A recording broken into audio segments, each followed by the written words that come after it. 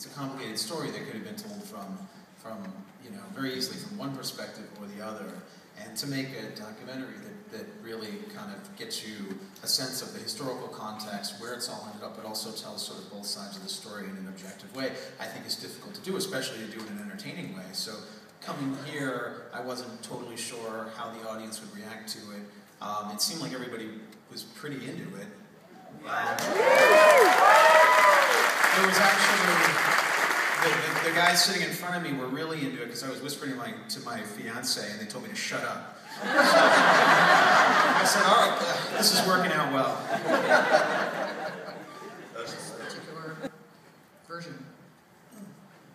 Uh, you know, I think this was something that could have been told many different ways, and uh, I think going into it, it was pretty unnerving given how many different phases there were.